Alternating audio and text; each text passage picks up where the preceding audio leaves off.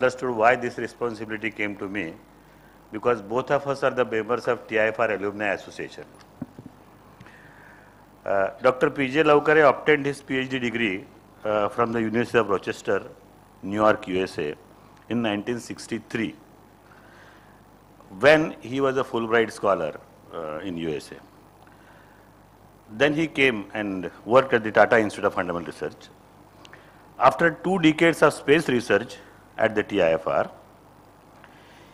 he secured a diploma in systems management from the Bombay University. This is something unusual. You know, people in scientific field uh, do not um, move out, but this he did.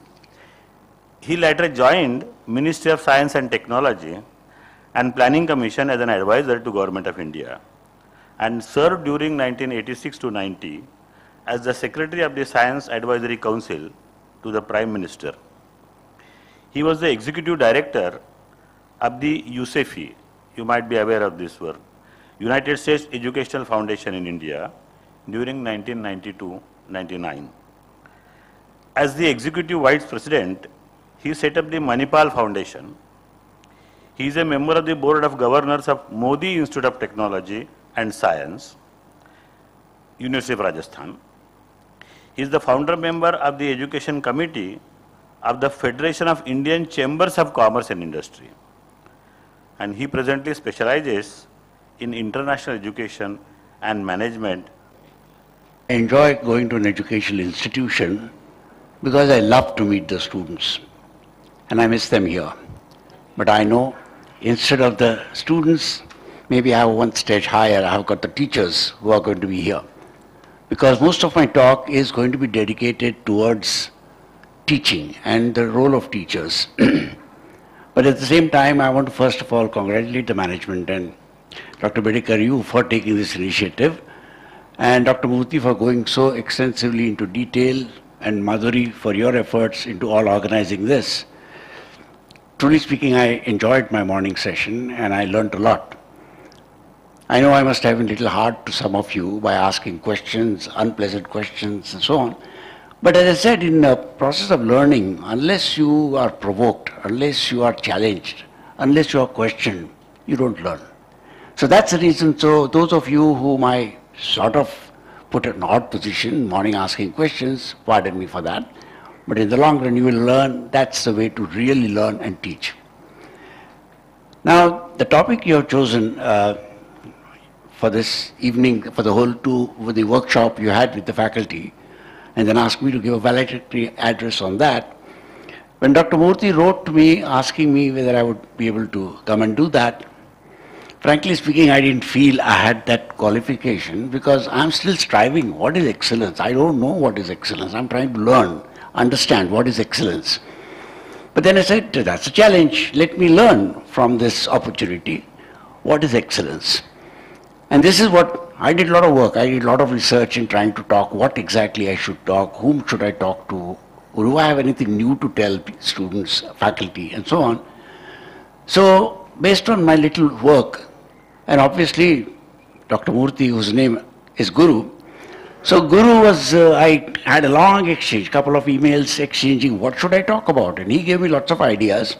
I didn't accept all of them, but when I accepted some of them, I enjoyed those. I could see that there was some interest, genuine interest in the institution here to try to interact and understand. Because very often I've got, got an invitation and I'm just asked to be there, you get a bouquet and you give a lecture and you go. But that didn't happen here. And therefore I said to Dr. Murthy, if I am to come here, I would like to be participating in the morning session as well. And that's what I came here. I enjoyed my morning session learned a lot of new things from faculty member here because I believe it in education, teaching and learning go hands in hand. And the third triangle is a research, which I had a lot of experience. I didn't have as much experience in teaching as many of you have. But I think as part, as part of research, uh, you do learn. And you do, as Dr. Bedekar correctly said, to communicate. That's very important. To articulate and to bring logic. These are the elements of what a scientist believes in. So I thought I did have some credentials to talk about the subject. But I tell you, when I went into detail, I got, in, I got really foxed. I didn't know what to talk about. So I said, uh, well, let me look at this institution. Uh, could we switch off the lights here, please, uh, so that we have a better view of the your own logo?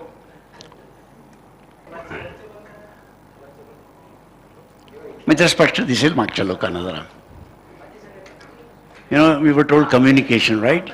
You were told communication should be right. So I want to make sure that you people see the things. So I said, well, let me look at this in- institute. What does this stand for? And there's your motto. And I got all my answers, except one, which I'll tell you which one is. Look at the words. Prajvalito Jnanamaya Pradipa. And what is your theme today? You're talking about excellence through knowledge. So if you look at Pradipa, that's the knowledge.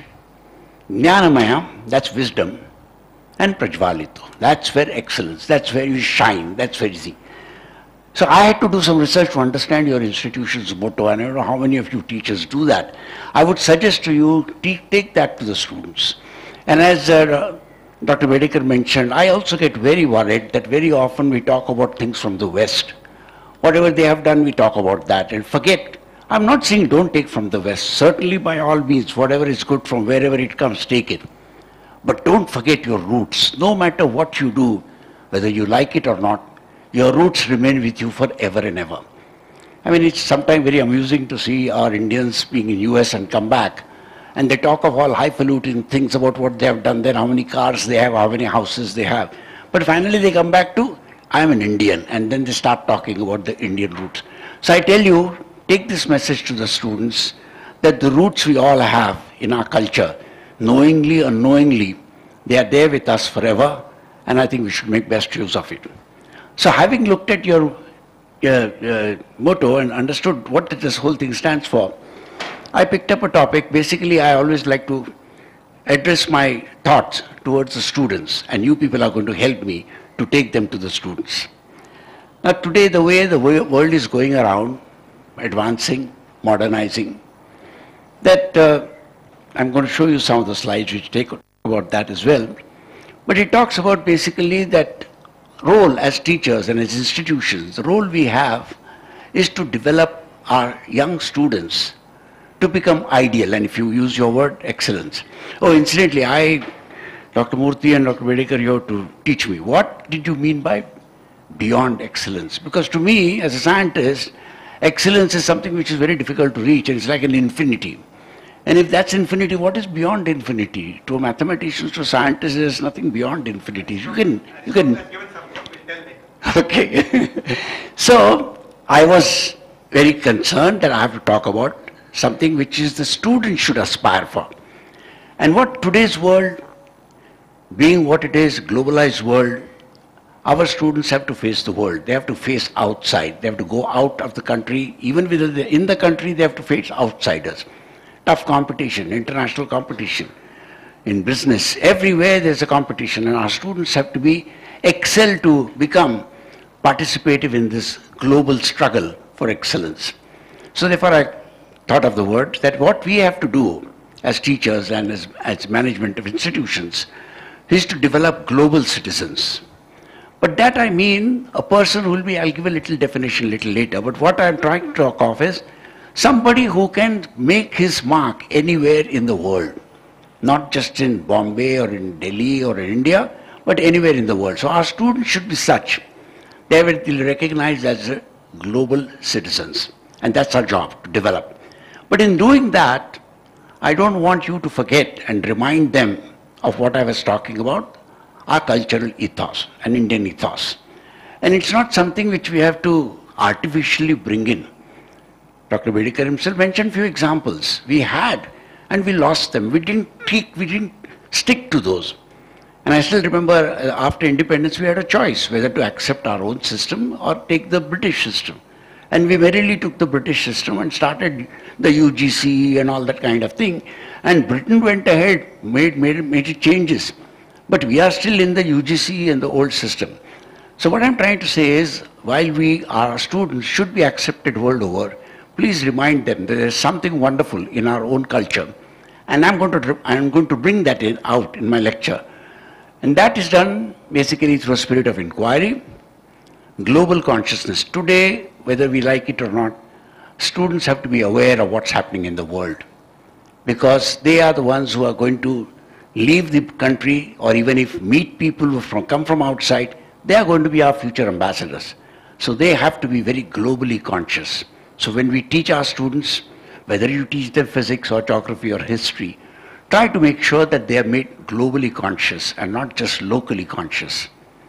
And in that, in that process, make sure that it's an excellence that you give them, the best. And that's what I'm going to say, what we should, all of us have this responsibility of bringing this spirit of inquiry, bringing in a global consciousness and excellence in our system, our education system, so that our students who are going to be part of it become global citizens with Indian ethos. Could I have the next slide, please, or do you want me to move it? Oh, you're going to do that? Okay, thanks. now, I did mention a little bit about why global citizens, but I just want to give a little background. Why? And pretty soon your institution, I heard, saw a few slides today on internationalization. We should collaborate with foreign universities. And I would like you to do that, but do it with a thorough study. What does it mean to be internationalized? What does it mean to be globalized? And for that, I want to trace a little history of how this has happened. If you look at our world, the real globalization started in 1945 after the World War. It was a political globalization. All the countries realized fighting is not good enough. We have to have peace in this world. Not that we have it today, but at least that was the attempt.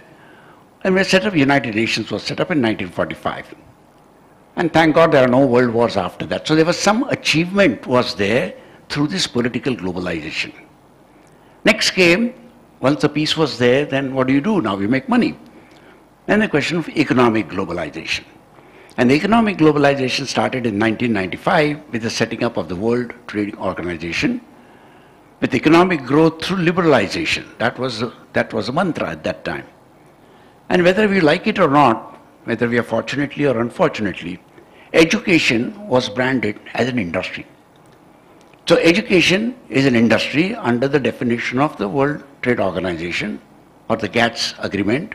It says that education should be treated like an industry. Now I would like all of you, not only just scientists, teachers or economists, but to think of this, what does it mean to have understanding education as an industry? I'm not going to talk about it more, but just let you give this as a thought. I wish you could arrange a seminar amongst yourself. What does it mean to be an education as an industry?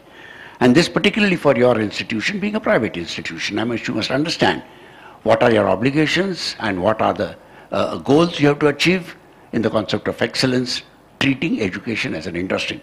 Because at one time, I think India, we used to think industry is something bad. Industry is something who are all people who only want to make money.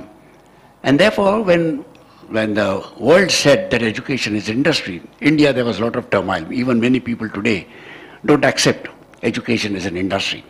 And not every industry has to be profit making. There could be not for profit industry. What I'm trying to say is to be operated like an organ, like an activity which is beneficial to all, beneficial to the world, beneficial to the world community. So that was the second stage of globalization when we have the economic globalization. And now we are in the third stage of globalization where politics, economics, and now education. So we are now in the stage of uh, globalization of education. Unfortunately, India is, as usual, we are very slow. We have not, I'm not saying you jump in the bandwagon, but try to understand what it means. We have not yet done it. I have been involved in two or three committees, UGC, MHRD, and all that. They ask you to do a lot of work, you write reports, they say wonderful, wonderful, nothing happens after that. So the concept of internationalization of higher education has been going on now for two plans. I remember I, we wrote the first committee report in the 10th, uh, 10th plan, 11th plan, nothing happened. Now I saw something is introduced in the 12th plan.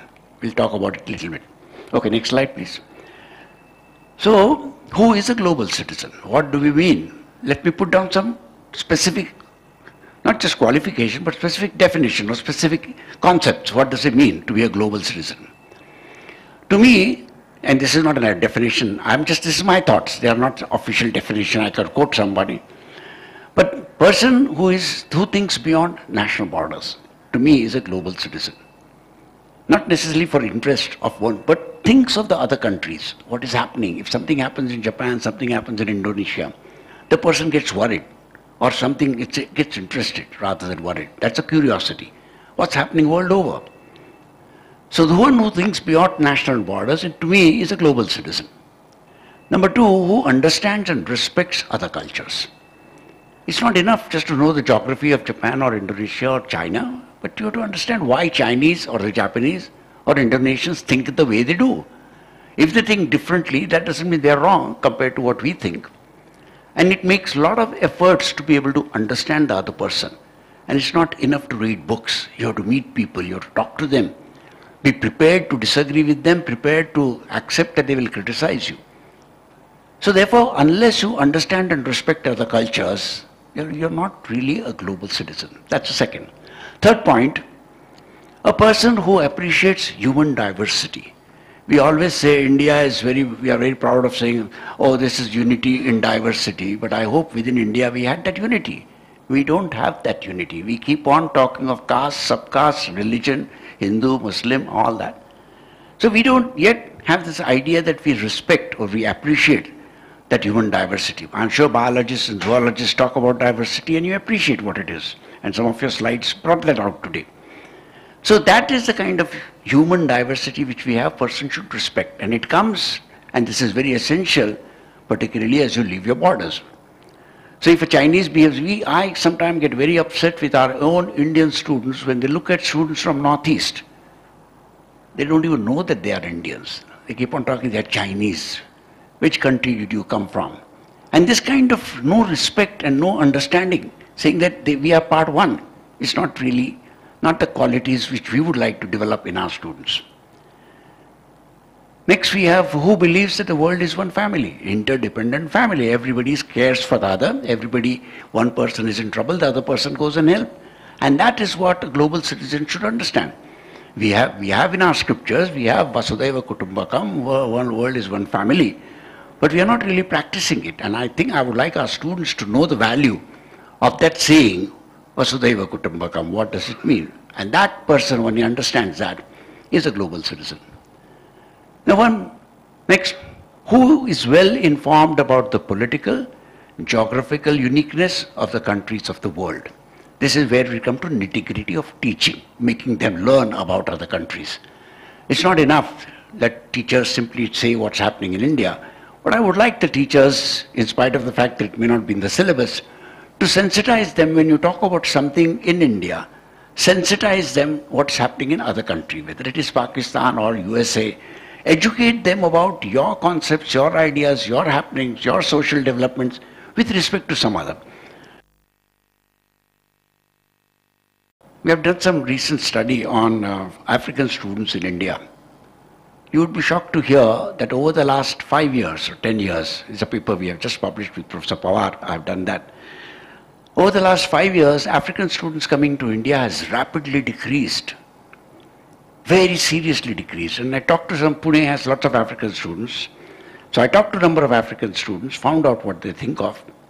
And there are several reasons for it, and uh, I won't go into details of them. But one of the things is Indians do not, Afri- do not accept an African because of his dark skin. We are still very sensitive to Africans. And this is something which I think is not the qualities of a global citizen. So I think with these few definitions, uh, you perhaps understand what one is trying to communicate. What should our young students be in the future? When I say they, are, they should be global citizens. Next slide, madam. now here I come to a little criticism. You see, uh, in India today, particularly our government officials and the minister has been talking a lot about the demographic dividend. Somebody used the word also earlier, demographic dividend. In India, we have 65% of the people less than 35 years of age, and therefore the whole world manpower eventually is going to be, can be fed with Indians, Indian students, Indian young people. And Kapil Sibal made a very major, big statement. I, I wish he thought about it in more details, but before making so. But now that he has made it, I have a right to quote him and criticize. What did he say? Our talent pool has clearly described its prowess by creating a successful IT and services industry that is the envy of the world. Because of the large reservoir of talented youth that is available in the country, around 1,000 of the top global companies have established their R&D, technical and development centers in India. A lot of foreign companies have set up their R&D units. Correct, right. They are employing over 200,000 scientists and engineers. I don't know the number, I don't doubt it, but anyway, it's a fairly large number. In almost all knowledge sectors, high-tech companies employ young Indian innovators whose ideas are taking the world by storm. Factually, qualitatively correct, number-wise we'll question. Finally, he says, we have to ensure that our talent pool in the knowledge arena lives up to the brand equity which is now looked up globally with awe and respect. Now, when one looks at that kind of a statement, and then the next slide, please. Next slide, ma'am. And then we hear very contradictory statements. Today, we are having, let me first go to the second part of the slide. McKinsey report of 2005, which disturbed many educational institutions, says currently only, and now it's a routinely used statement and report. Currently, that's a McKinsey report, says currently only about 25% of technical graduates and 10 to 15% of general college graduates, and perhaps all of you know, more than 40 to 50% of our graduates are belonging to this general college, I mean arts and, uh, uh not even commerce, arts and science. And these, according to the report, are unemployable, are uh, uh, employment, they are not suitable. Now, if we are saying our own people, 25% are, are, are only acceptable and 75% are not acceptable, by our own people, how do we say that this 75% will be accepted by outside people? So I think unless we put our house in order, I think it's not fair to make such claims uh, which the minister has made. So I think we have to be very careful in breast beating and shouting about our de uh, demographic dividend. Yes, we have a demographic dividend. I'm sure all of you have met some young, bright, talented students. Of course we are proud of them. But our problem is they are only small, it's only the cream. And we have a big task to get the rest of them above in that level. Now, sorry, go back. Other very interesting statement, I do some work for the GE company. And uh, the, in 2000, year 2000, the former GE CEO, Jack Welch, he came to visit India. They were looking for setting up an R&D center where all over. They set up one in Brazil. You might be able to get to see that. They have one in China, they have one in Germany, they have one in a small one in US which started. But when Jack Welch came to India, he interacted with a lot of young people. And he was surprised to see the talent in India. It's again the cream. And I'm not referring only to IIT. Mind you, I think invariably people say talent. Talent means only IIT. No, I don't agree with that at all. Talent is all over. Even in your institutions, I'm sure there are talent. And therefore, he said, he made the statement India is a developing country with a developed talent. Once again we grabbed on the statement, oh, we have developed talent. But he was very, very, very purposeful. He came, he knew he could get talent here, and rather than getting the talent back in US, it's like the story of the Muhammad going to the mountain. The mountain came to Muhammad. Rather than bringing all, taking them all to the USA, why not we set up an R&D center in India? And sure enough, we set up a center in Bangalore. And it's one of the largest one of all the GE R&D centers, one of the largest one, even much larger than the one in US. So they recognize where the talent is, and that's where India has a promise. And that is why all of you have a responsibility to make sure that this talent really flourishes and becomes globally acceptable everywhere. Okay, now we can have the second. then came, after the McKinsey report of 2005, our Prime Minister woke up and uh, my good friend Sam Pitroda told me, we have a problem in India, we are having, and Prime Minister has asked me to set up, to have a, head a committee uh, to look at Indian higher education system. And he, I don't know how many of you have interacted with Sam Pitroda, if you get a chance, do so, he's a dynamo. dynamo. He's, he's, most of the time he's in US, but as a person, he's a dynamo. You can really enjoy talking to him, meeting him. So he very frankly, within quickly, he made a statement, and made a preliminary survey and wrote to Prime Minister that we have a problem in our higher education system. And Prime Minister read that statement and wrote and said this. He said, our university system is in many parts in a state of disrepair. Higher education enrollments are abys- ab- uh, abysmally low. Almost two-thirds of our universities and 90% of our colleges are rated as below average on quality parameters. I am concerned that in many states, university appointments, including that of the vice chancellors, have been politicized and have become subject to caste communal considerations. And there are complaints of favoritism and corruption. He says all that but does nothing about it. That's the problem. So with this kind of admission by our own Prime Minister saying that India, we have a problem in higher education system. So how do we achieve that excellence which we are talking about in this seminar? So next slide, please. So uh, Sam Pitroda was asked to prepare a report, and uh, I, I don't know whether you people have read the report, but I urge all of you. They talk about polytechnic, they talk about vocational education. Please look at that report, study it, have seminars, debate among themselves, find out what is right, what's wrong, something which is not applicable, be objective and look at that report. And what was the report said basically? Saying what Prime Minister was talking about, that we don't have enough institutions, so expansion. Then your, your seminar, he said, uh, Sam Pitroda says, and the committee said, National Knowledge Commission, that our education needs an overhaul. We have a problem. And therefore, second aspect should be excellence. And third one was equity or inclusion. Not everybody is able to go to the higher education. Now, I, I want to quickly touch upon here this last quality.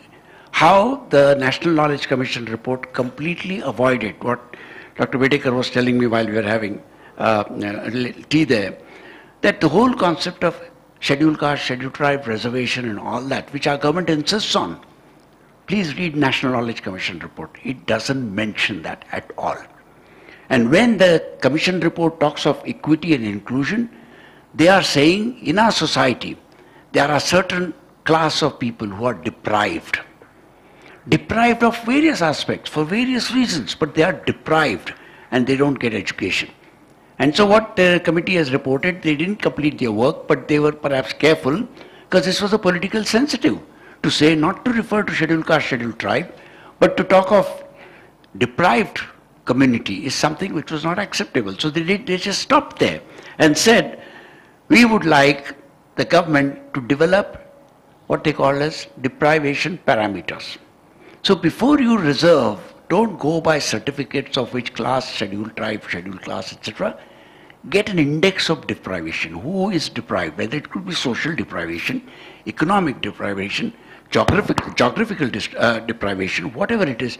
Develop these parameters and government should use these parameters, should do what is called as reservation, if you wish to. So these are the three elements which came out of National Knowledge Commission report. And I think we quickly jumped on the first one. Next slide. Expansion. That we did. We are very good. And I asked Sam after the uh, report was over, I said, Sam, nothing is happening. What's the outcome? What, where, what have we done? He says, only one good thing has happened. He says, a lot of money has been given by the government to open up new institutions. And I think it stopped there. So we, if you look at the graph of uh, the number of universities which have been growing over the years, and uh, every now and then it ticks, uh, and as uh, we were discussing, universities don't get closed. It's very difficult to close a university. They only keep on growing. So today the number, look at the after 1990 or 2000, around the time the report came out, little before that, but soon after that, it shot up. And now today we have more than 600, I think today's number is maybe 650 perhaps, I don't know. And 33,000 colleges and 634 universities are there in this country. And these are, I'm not distinguishing between private, government, deemed, not deemed, and so on and so forth. That's the number of universities we have in our country. So expansion we have agreed, got quickly. But the next slide shows that uh, while not only, it's not just we are expanding, the whole world is expanding. And today our young people are very keen, they are very, very sharp. They know they want to go to the best place. That's why we are all talking about we have to give them excellence here. If we don't give them excellence here, they're going to go out. And it's not only in India, it's happening in many countries, Africa, particularly Africa, but they are doing a lot more than what we are doing in, in, uh, in India. So what they did, they, if you look at today, the mobility of a international student. Student who goes outside his country to study is called an international student. If you look at the number of students who are growing, who, want, who have left their country and studying somewhere else, we don't know how many will come back. It will depend upon the country. It will depend upon the uh, domestic situation. It depends upon the host, hosting country, which may refuse to give the visa and all that. But the fact is, our young people whom we are targeting for excellence are really today wanting to go out. They are like free birds. They are like seagulls. They wanting to go out and fly.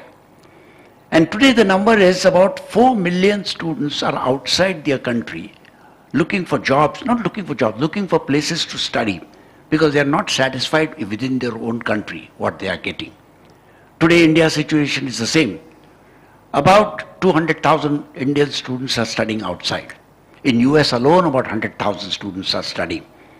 We don't know how many will come back. I'm not right now concerned about that. I'm concerned about the fact, are we giving opportunities for young students to get the best of institutions? And that's what they are doing today. So the demand for higher education has risen very rapidly. And uh, the competition amongst universities to attract international students is going. Now that's where the marketing comes. That's where the industry comes. All this question which you read today about world-class university, which has been now picked up like this, everybody talks of world-class university, has happened only when the competition started amongst various international universities to attract students. I'm sure more, many of you know the kind of competition which is going on amongst countries like UK, USA, even China and uh, other countries to attract students to their country is enormous. It's cutthroat competition going on. Ethic, ethical practice, unethical practice, everything goes on. But the point I'm saying is uh, to, to, today, therefore, there is system, and this is where I had mentioned in the talk, China, when they realized that students are looking for the best universities, a Chinese university, uh, it's a complicated name, Jiaotong University, the faculty members got together and said, we will define what is a world-class university. And they took parameters which were today not acceptable to many, but still one of the parameters. So there are a number of, moment they did, Chinese did, then British people did. Then other group in Europe did it. So now there are about three, four rating agencies which are now trying to say which are world-class universities. And of course, the problem is in none of them our universities fit. Whether you use the Chinese system or the British system or the European system, we are nowhere in the first 200. So the question is, uh, everybody is looking for a world-class university. That they want to go to the best of universities, so we should develop world-class universities. The next slide. And that's where the ranking game started. 200, I'm 199, I'm so on and so forth. But the paradox of the world-class university is written by one of my good friend, Professor Philip Altbach. He says, everyone wants one world-class university. No one knows what it is. And no one knows how to get one. But everybody is saying world-class, we have to become world-class. But nobody has yet understood what is world-class. World-class for country X may not be world-class for country Y. It's not something like which is uh, somebody like Srikhand, other may not like it. But now we are putting everything should be like Srikhand. I mean, that's not good. So let's not get carried away by this world-class university too much. I'm not saying don't respect. Yes, you have to evaluate, get parameter, be quantitative, do all that. Absolutely necessary. But don't try to fit in yourself somewhere or the other and if, feel bad about it if you are not there. Uh, the next slide. Now here where I come to the Indian ethos. We have, historically speaking, we, India was the first country which had a university. And that was the Nalanda University, which is now in Bihar. And we had this wonderful heritage, and we forgot all about it. And when this is the place where scholars from all over the world used to come and study. We have forgotten that. We have lost it. After independence, we never thought in terms of bringing up universities which could be based on Indian ethos, namely Nalanda University. Now I'm told government has suddenly started, they want to set up a Nalanda University in the place somewhere near, close to this, uh, close to this site. I have a, I have a dream to go and visit this university's site, uh, leftovers of that, but I have not yet been able to do that. But I think that may be another study opportunity for you to study what was so great about Nalanda. You people are all scholars, teachers, and you have to excite our students about Nalanda, what was good about it. So please study about Nalanda University because there's a lot to learn from that. Okay, the next slide. A world-class university, the Indian ethos, we always thought, without calling it a world-class, Nalanda was a place where all the scholars from all over the world came. That's where we talked about Vasudhaiva Kutumbakam. World is one family and come and study in India. Attracted, people came and rushed to us. Today nobody wants to come to us. African students, as I told you, are no longer coming to us, they're going away. So there's something wrong. We have forgotten our heritage, we have forgotten our spirit. We have forgotten our spirit of excellence, what we called this at one time, without calling it a world class or without calling it excellence. There was something inbred. And as I think Dr. Murthy and uh, Dr. Bindre also told, it should come from here. It should be from the heart. It's something within. It's not something outside one says that you are a world class or you are excellent. Its excellence comes from within. As long as you feel you are doing your best and will not stop until doing the best, that's the only way to get excellence. You can't get a certificate from someone else, you are excellent and so on. Therefore, world is, uh, we have a university and we have forgotten that ethos. I want you to remind, study what is Nalanda. Maybe have a seminar, talk to students, give them a project, study what was so great about Nalanda, and communicate that excitement, that enthusiasm for them to be, we want to be global citizens with Indian ethos. Next slide, please. Now, I, will, I did try to make, though it's very difficult because I don't think I'm competent enough to define all these qualities of excellence and so on. But since when I strive to achieve that in one's career, I have some authority to talk about it. So let me try to uh, look at each one of these category, categories of what we mean by excellence in a particular system. So in higher education, uh, what does it mean by excellent students? Now, excellent students, excellent teachers, and excellent institutions. And once again, I want to remind you about excellence in our heritage. The tradition of Upanishads, that's something which I think many of you may have already you know, more, more, about it. But I've been reading recently after this, my whole concept of Indian ethos started coming. Well, in Upanishads, there is the story of uh, Nachiketa. I'm, some of, I'm sure some of you know. Nachiketa, whose father uh, was doing a yajna, and during the yajna, he just uh, giving away all cattle and this and that, and he gives away his son also. My son also I'll give, and he was upset with his son. So his son is to be sent to Yama. He has to go to Yama.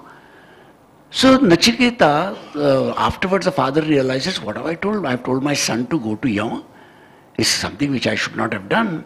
So he says, uh, no, no, son, you need not go. No, no, father, you have given a promise. I am going to go to Yama. And then he goes to Yama, which is a story. But look at this thinking, curiosity, initiation. And that student, Nachiketa, makes, gives hell to Yama, literally, asking him hundreds of questions. And Yama is not able to answer those. But like a good teacher, Yama doesn't get upset. He keeps on trying. Some of the answers he doesn't have. But he keeps on diverting. I'll give you this, I'll give you this, but don't ask me this question. Nachiketa says, no, my spirit of inquiry, I want to understand this. And I've yet to see finally what's the real answer. It's there somewhere, it's hidden, because some of the Indian concepts are not easily understood. I mean, Atma and uh, things like that. I'm just struggling. As a scientist, find it very difficult to understand. anyway, the spirit of inquiry is what I want to say. And without fear is what comes out element of from our excellent students from the Indian ethos. All the same thing is valid today. When I talk to students, I do spend a lot of time. I live with students for a workshop, stay with them in hostel, and four days we travel in bus together. And amazing, I mean, the kind of return I get from them. I mean, each time my friends meet me, you look younger. Yes, I said I was with the young students for a week. I can tell you the students, young students are so, they enliven your life so much. But you have to talk to them their language. Don't start preaching them. The moment you start preaching them, they'll run away from you. And today's students, you know, very often, I'm sorry to say that they know more than what you do. I'm not saying everyone. But on an average, good students today are more informed. And I'm perhaps more relevant to science, I don't know about other area. They may not be mature, but they have more information than what you have. And therefore, if you try to tell them routine way, giving lecture, lecture, facts, facts, fact, reading your old notes of 10 years, 15 years, same stories, they will get bored. I have talked to many of my young friends and say, what happens? Why don't you? He says, sir, they talk about things which we already there in the book. There are some of my teachers read from the books. You expect me, I already read that, I've gone to internet, I've studied this, I've studied that. So they are so eager to learn and the teachers are not able to come up to their expectations. Once again, I don't want to generalize, but we are looking at excellence. We are looking at the best. And that gives us standards where exactly we should pitch our efforts is to challenge yourself, can I satisfy the best of student? And if you do that, that's where your excellence will come. So that's where the teachers come.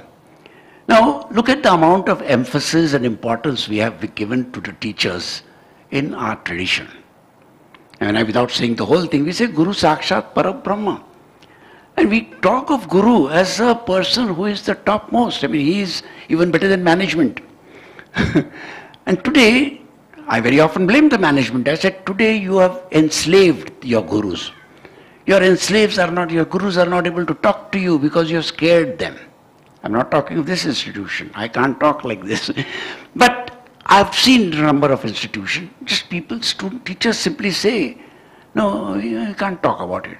And the whole concept of curiosity, spirit of inquiry, understanding other person, understanding the differences, trying to learn from the students, etc., etc., etc., is all hidden with the fear. If I ask this question, I will be branded badly, not good, branded badly. And therefore the whole question of the importance of Guru and Guru um, Parabrahma, as I said, is something which has to be revived and it is there within us. If we can only simply revisit in the modern context, see what is expected, I think we'll be there. Then the excellent institute, institutions. Uh, we're talking about the, I talk, talk, talked about Nalanda University. I would leave this as a case study for you people to do, a project for you people to do. I have a bad habit of giving tasks to all my friends and people, students whom I meet. So please do that, look at that and see what Nalanda, why Nalanda was excellent. Is it still relevant? It may not be relevant today. But you find out, you will get an answer. Don't depend on somebody else says, he said it's good, therefore it's good. No, you satisfy yourself. That's the way. That's the way of learning. So I would give this example of three areas where we have a strong Indian ethos in excellence. But we have forgotten it. We look at Harvard, we look at uh, Cambridge, we look at Oxford and so on. They are good and we should look at them appropriately. Don't uh, make me feel as if I'm only denigrating and glorifying our national. Of course not. But look at what we, I don't want you to forget what you have in the past and build up on that and pick up the best from the outside because I know some of the concepts are not relevant today, but basic elements are still there. Okay, the next slide. Now, what does the excellence of student means? I gave you the example, spirit of inquiry. I gave the example of Nachiketa. Hard work, patience, and perseverance. I, will give you one example. I was, I was uh, somewhere in Bell Labs in US. I was with a young group of students and a Nobel laureate was there. And I was listening to the conversation, what they're talking. So young students meeting a Nobel laureate was something great for them. And finally, the inevitable question comes, uh, please tell us the secret of your getting a Nobel Prize. And he simply said three words. Don't give up. Just three words. Don't give up. How many of us give up easily? Very easily. And he says, don't give up. So that's what I mean by spirit of inquiry and perseverance and patience. We heard a lot about perseverance and patience from you. Uh, the Bhaga, Ekapagaru Bharato. And these are, yeah, these are the perseverance skills. Then the global outlook, which I discussed a lot earlier, I don't want to talk about it. Problem solving skills. Look at the real example today. Many industrialists I've talked to, recruiters I've talked to, and they say, yeah, they're all good marks, but I give them a simple problem and they can't solve. They are so narrow in their thinking, and life today is not narrow. Life is multidisciplinary. I talk to students and I give them a problem. So, sir, that's not in the syllabus. I'm a chemist. That's a problem in biology, physics. And knowledge is not compartmentalized. In fact, I complimented your institution today for the first time because I've seen many, many institutions. It's going to be knocked out at one time. there are many institutions who are so compartmentalized. Faculty of law will not talk to faculty of management. Faculty of engineering won't talk to faculty of humanities. They have separate buildings because earlier they were separate colleges and they continue to remain the separate colleges. The faculty don't attend each other's lectures. I gave a lecture at one of these universities and the faculty of yeah, humanities said they'll arrange my lecture. I said, good, but I'm giving a subject which is relevant to everyone. And only the faculty of that humanities attended this lecture because it is in some other faculty. You don't want to. Now people are not willing to exchange ideas with each other. People are not willing to openly talk. So I was very, very happy. Dr. Murthy, congratulations to you for that, for putting up teams. And I'll come to the next section there. Putting up teams which are looking at interdisciplinary or each other's institutions. A problem solving skill. So now look at this mobile. If I ask a student uh, which which discipline is this? Can you say which discipline is it? It's all disciplines. There's physics, there's chemistry, there's design, there's marketing, mechanical engineering, electrical engineering, everything is there. A student will ask a question by a company which is making mobile, and if they are, no, I, I didn't learn about, I can learn computer science. They get upset. They don't have problem solving skills at all. So narrow. And when I organize this workshop for students, very often I make purposely, I break up them into teams, and each team is multidisciplinary team. And promptly I get an email from, sir, you have put me in a chemistry uh, group, but I'm not a chemistry, I'm a, I'm a chemical engineer. And these kind of mindset are so bad that they are not able to solve problems which are real life problems. So I urge you people to develop these skills, break up these barriers, break up these silos of disciplines, and knowledge. I was very happy to hear today you were talking in terms of, I was making fun of her. She said she's a zoologist. I said, what about botanist? You're not a biologist. So these kind of differences which were there earlier, we still keep on persisting on them. So therefore, I think problem solving skills not come from a single discipline, they come from many disciplines. And that's what the excellent student would have to learn. Multidisciplinary approach, I just mentioned. Communication skills. We heard, all of you heard today about communication skills, how important it is. Today again, uh, Dr. Bedekar mentioned about it. It's very important to be able to communicate what you are. People, students just can't communicate and they lose out on jobs because they can't communicate. Either there are some who keep on talking, as we say gassing off. They talk something which is not correct. And the, the real person who understands, is just talking out of his hat. So therefore communication skills are important. Social skills. We also discussed that. Then lastly, the spirit of teamwork. People don't like to work. In India, I've seen this. People don't like to work in team. Everybody, each one for himself or herself.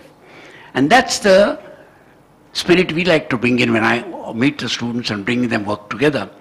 The spirit of teamwork, what does it mean? More of we and less of me. Students, when they sit together in a team, each one is only trying to tell everybody else what he knows or she knows. And I stop them. In a team, everybody should get a chance to contribute, to talk, learn from the others and so on. But in a team, there are some who keep on talking, don't allow the other person to even contribute. And in fact, in the process, we are not only suppressing the initiatives of the person who doesn't talk, but we are individually bringing in inferiority. But the excellence comes in if you allow a best of ideas to be floated and then pick up the best. So that's what happens in terms of these are the, some of the excellent skills which we have to develop. I have how many minutes? Five more minutes? Okay. Next slide, please. Here are for teachers. What is the excellence in teachers? I don't know how many of you are able to read that, but I'll read today.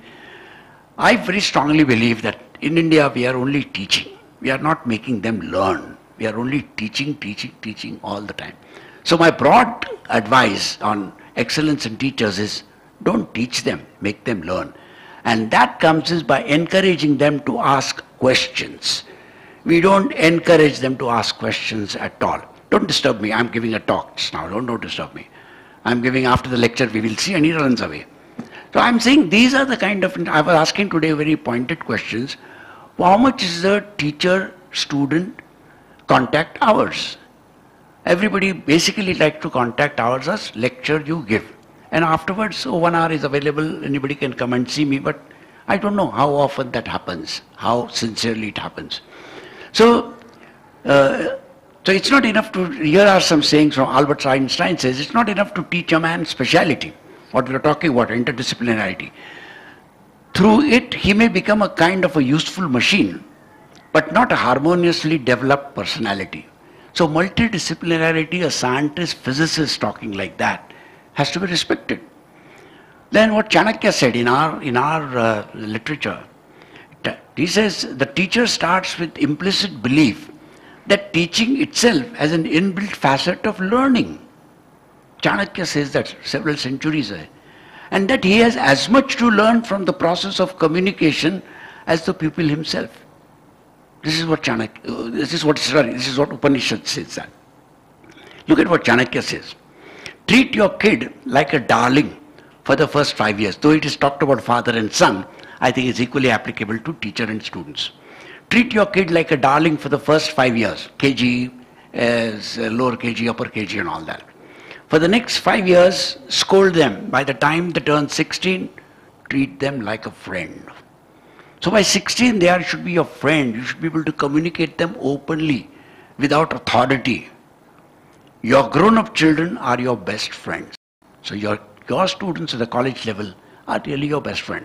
I'm sorry to say during, I don't always say during our time and all that, but our teachers used to spend much more time with us. I still remember my professor teaching us songs, going on a picnic, eating food together, going in a bus together, talking so many things. One of my professors used to take us for a hike. And when we go on hiking, he would not simply say walk 10 miles, 7 miles. He say, look around in this village, where do you think water will be provided to them? Now these are the things we learned from our teachers.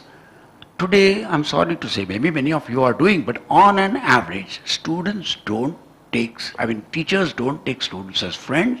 They don't spend enough time with them because everybody is busy. Student is busy, teachers are busy, everybody is busy. But that's not good thing for being excellence.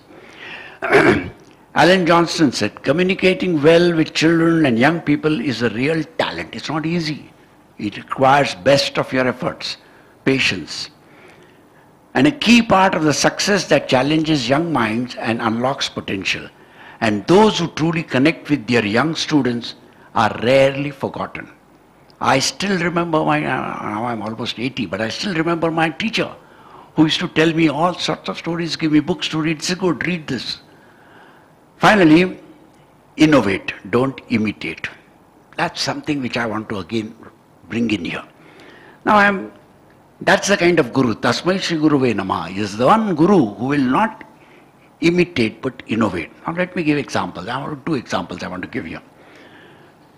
One is relates to, yeah, Dr. Murthy will bear me out. We shared our email on this. You see, if you look at today, the, there were recently last year uh, two, two examples. Harvard University students came to India, students and faculty together, to study a unique case study which was happening nowhere but in Bombay. Bombay Dabbawalas. Harvard University professors and students came to come here in our backyard to make a case study on our problems. How many of our IIMs or other management institutions done any study of our backyard? But I'm sure that Harvard study of India Dabbawala will be now taught in all our management institutions. That's not one. There's another case. It was more recent. The Kumbh Mela. Kumbh Mela is organized by the state government or whoever it is. How is it organized? Harvard people are more curious to find out. And they make a case study of how Kumbh Mela is organized. They break up the system, uh, organization, who participates, where is organized, everything. We don't do that. How many of our internal problems are wonderful case studies which we ourselves look at? unless you look at your own problems and not simply imitate because somebody else does, you will not be excellent. And all these relate to being excellence. Excellence will not come from imitation. Excellence will come from innovation. And in every aspect of your uh, activity, please see, I'm not at all denigrating the fact that you can also sometimes look at what others are doing, try to understand that, certainly good. But don't depend only on that. Try to apply your own mind to your own problems. Okay, next slide. Excellence in institutions has an international reputation for its research. That's what kind of institution World Bank study has said that. World Bank study says it's an excellent institution. The World Bank got worried about this ranking system.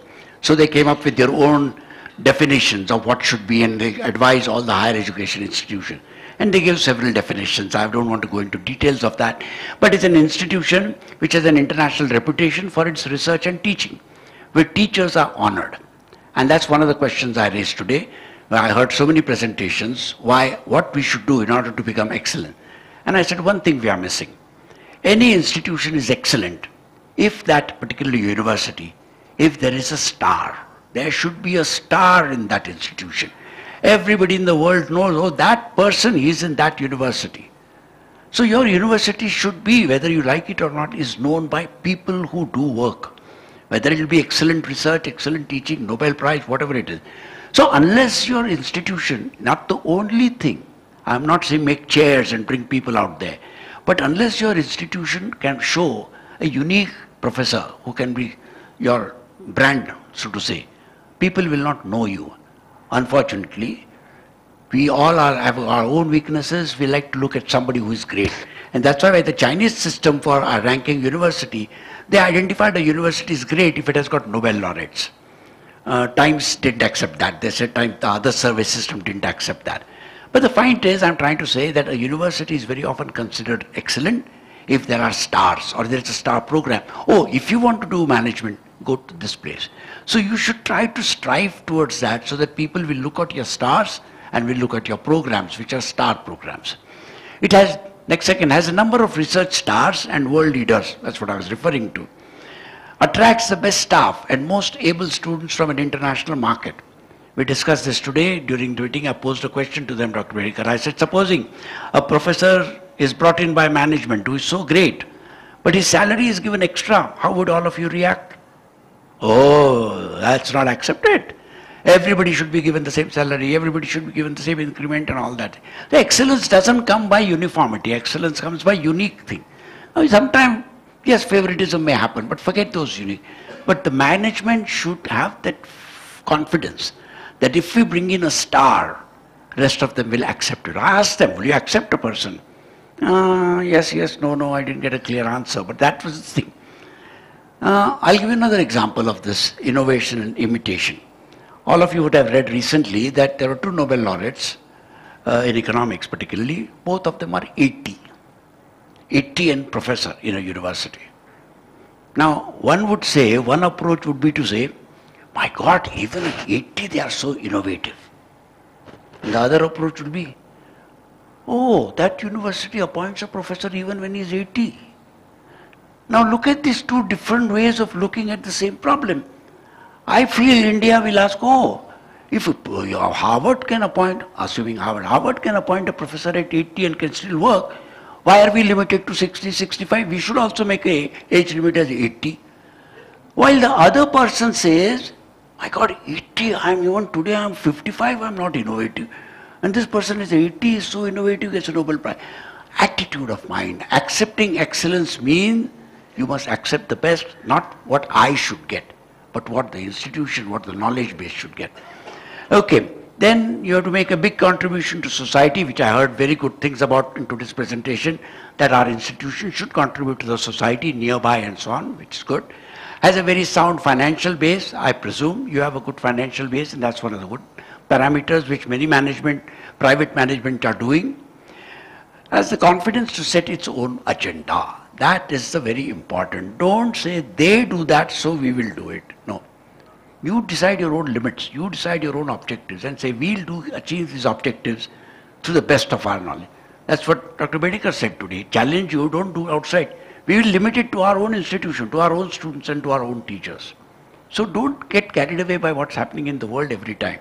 Think what we can do ourselves in our own institution. Next slide, please. Excellence in government. I want to speak quick because I think we have shortage of time. Yeah, uh, I'll skip this one. Next slide, please. So what's my conclusion? Oh, I don't have, uh, I can show that slide. Okay, one previous one. Uh, previous one, please. Yeah. Excellence in governance. My good friend Anand Krishnan, who is uh, chairman of the IIT Council, uh, Kanpur, he, he wrote this down. I, I told him he has been on this Tandon committee and looked at so many institutions and so on. So I said, you tell me what is the governance excellence? Because many institutions are being criticized for excellence in governance not there. So he has objectively put down, and I agree with some of them. He says integrity in appointments at all levels. That is a good governance. Whether they are doing on what basis? Purely on excellence, quality of the person? Yes. Strong leadership and management skills. Not only in the management, but even in terms of how a principal conducts. That's what uh, Madhuri was saying today. It's not just don't depend on the management or the director or the head. or the principal, each one of you is a leader. And that's what I say, Guru Devo. You are, you are all Gurudevs. And you have to make use of that quality of yours, the respect which has been given to you by the society. That's where the excellence will come. Okay, strong leadership and management skills, monitoring the quality of teaching and learning. We discussed a lot on that. I don't want to elaborate. Improvement in research quality, a very difficult thing. It's easy to say, but you have to struggle hard, patience, continue to work and work and work before you can get that. Uh, competent administration, robust and transparent financial system, then it's a good governance. Strong human resources processes for performance appraisal and development, effective student support arrangements. All these, many of these qualities, many of you mentioned, and I'm, I'm glad that you had recognized these important qualities. Next slide. So, conclusion, what I've said today, basically, nothing new for you, but with passion, I feel very strongly about this. That higher education has been globalized. India has to become internationally competitive. You can't be away from that now. The concept of world-class university has come to stay. Bring excellence in our education system. You set your own standards. But then when you set those standards, they are the best standards and don't worry what others talk about it. Focus on excellence in our students, teachers and institutions. Indian culture has the ethos. Let us recall and learn from our past as we step into the future. We have tremendous history. Uh, next slide. And I end up with uh, Aristotle. Some of you use this definition and try to translate it into our saying. It says, Sa vidyaya vimuktaye. It is that knowledge, it's that vidya which liberates you. If you want to call it beyond excellence, yes, that is education which liberates you. You're not, not bound down by petty little things, but you think big. You think of excellence. That's, that's the kind of vidya you have to look for. It is this learning that we will liberate us beyond excellence. But what did Aristotle say? And I'll end up with that. And that's, I think, is the crux. I think one of your faculty members did use this definition. He says, we are what we repeatedly do. Excellence then is not an act. Tomorrow your excellence. No, it's not that. Excellence is not an act, but a habit. Whatever you do, do to your best of your capability. I even told you, your presentation, some of them were not good. Did you rehearse them? Did you exercise them?